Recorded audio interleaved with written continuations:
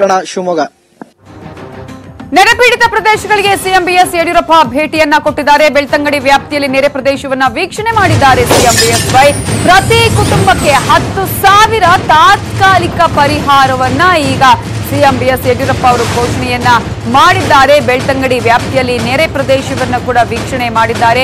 ಪ್ರತಿ ಕುಟುಂಬಕ್ಕೆ ಹತ್ತು ಸಾವಿರ ರೂಪಾಯಿ ತಾತ್ಕಾಲಿಕ ಪರಿಹಾರವನ್ನ ಘೋಷಣೆ ಮಾಡಿದ್ದು ಎಲ್ಲಾ ಮುನ್ನೂರ ಇಪ್ಪತ್ತೊಂದು ಕುಟುಂಬಕ್ಕೆ ತಲಾ ಹತ್ತು ಸಾವಿರ ರೂಪಾಯಿಗಳಂತೆ ಐವತ್ತರಿಂದ ಅರವತ್ತು ಮನೆಗಳ ರಿಪೇರಿಗೆ ತಲಾ ಒಂದು ಲಕ್ಷ ರೂಪಾಯಿ, ಇನ್ನೂರ ಎಪ್ಪತ್ತ ಐದು ಮನೆಗಳ ಪುನರ್ ನಿರ್ಮಾಣಕ್ಕೆ ತಲಾ ಐದು ಲಕ್ಷ ರೂಪಾಯಿಯನ್ನ ಈಗ ನೀಡೋದಕ್ಕೆ ಘೋಷಣೆ ಮಾಡಿದ್ದಾರೆ. ಹತ್ತರಿಂದ ಹದಿನೈದು ದಿನಗಳೊಳಗೆ ಸ್ಥಳ ಹುಡುಕೋದಕ್ಕೆ ಸಿಎಂ ಆದೇಶ ಕೊಟ್ಟಿದ್ದಾರೆ.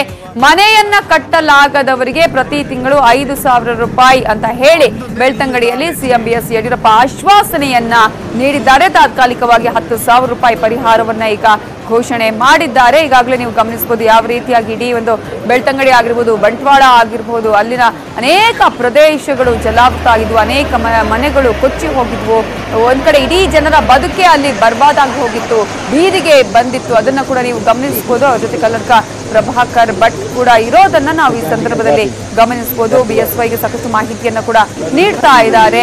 ಅಲ್ಲಿನ ಜನಪ್ರತಿನಿಧಿಗಳು ಕೂಡ ಅವ್ರ ಜೊತೆ ಇರೋದನ್ನ ನಾವು ಗಮನಿಸಬಹುದು. ಬಂಟ್ವಾಳ ಆಗಿರ್ಬೋದು, ಬೆಳ್ತಂಗಡಿಯಲ್ಲಿ ಸಾಕಷ್ಟು ಪ್ರದೇಶಗಳನ್ನು ವೀಕ್ಷಣೆ ಮಾಡಿದಂತಹ ಸಿಎಂ ಬಿಎಸ್ವೈ, ಈಗ ಸದ್ಯಕ್ಕೆ ಹತ್ತು ಸಾವಿರ ರೂಪಾಯಿ ತಾತ್ಕಾಲಿಕ ಪರಿಹಾರ ಹಾಗೆಯೇ ಮನೆಯನ್ನ ಕಳ್ಕೊಂಡಂತ ಅವರಿಗೆ ಎಲ್ಲ ಮುನ್ನೂರ ಇಪ್ಪತ್ತೊಂದು ಕುಟುಂಬಕ್ಕೆ ಹತ್ತು ಸಾವಿರದ ಜೊತೆಗೆ ಐವತ್ತರಿಂದ ಅರವತ್ತು ಮನೆಗಳ ರಿಪೇರಿಗೆ ಒಂದು ಲಕ್ಷ ರೂಪಾಯಿ, ಇನ್ನೂರ ಎಪ್ಪತ್ತೈದು ಮನೆಗಳ ಪುನರ್ ನಿರ್ಮಾಣಕ್ಕೆ ಐದು ಲಕ್ಷ ರೂಪಾಯಿಯನ್ನ ನೀಡ್ತೀವಿ ಅನ್ನುವಂತಹ ಒಂದು ಭರವಸೆಯನ್ನ ಕೊಟ್ಟಿದ್ದಾರೆ. ಐದು ಸಂಪರ್ಕ ಸೇತುವೆಗಳು, ಕಿರು ಸೇತುವೆಗಳು ಹೊಳೆಯಲ್ಲಿ ಕೊಚ್ಚೋಗಿದ್ದಾವೆ. ಮುನ್ನೂರು ಮನೆಗಳು ಭಾಗಶಃ ಅಥವಾ ಸಂಪೂರ್ಣ ಮನೆ ನಾಶ ಆಗಿದೆ.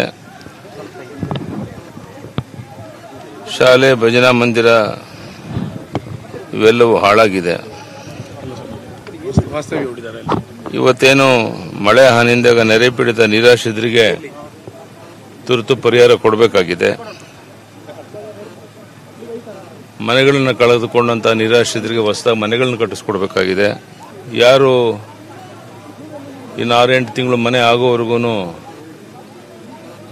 ಬೇರೆ ಕಡೆ ವಾಸ ಮಾಡ್ತಾರೆ, ಅವ್ರಿಗೆ ಬಾಡಿಗೆ ಮನೆಗಳಿಗೇನು ಕೊಡಬೇಕಾಗತ್ತೆ, ಹಣವನ್ನು ಕೊಡಬೇಕಾಗತ್ತೆ. ಈ ಗಂಜಿ ಕೇಂದ್ರಗಳಲ್ಲಿ ಏನು ಸವಲತ್ತು ಬೇಕೋ ಎಲ್ಲವನ್ನ ನಮ್ಮೆಲ್ಲ ಚುನಾಯಿತ ಪ್ರತಿನಿಧಿಗಳು ಮಾಡ್ತಾ ಇದ್ದಾರೆ. ಇನ್ನೂ ಏನು ಅಗತ್ಯ ಇದೆ? ಮಾಡೋಣ. ಕೃಷಿಕರ ಬೆಳೆ ಏನು ನಾಶ ಆಗಿದೆ, ಅಡಿಕೆ ಮರಗಳು ಕೊಚ್ಕೊಂಡು ಹೋಗಿದೆ. ಅದಕ್ಕೆ ಅನುಕೂಲ ಏನು ಮಾಡಬೇಕು? ಮಾಡ್ತೇನೆ. ಸೊ ಮನೆಯನ್ನು ಕಟ್ಟಬೇಕು ಅಂತ ಹೇಳಿದ್ದಾರೆ ಅದು ಎರಡು ಬೆಡ್ರೂಮನ್ನು ಮನೆಗಳನ್ನು ಕಟ್ಟಬೇಕು ಅಂತ.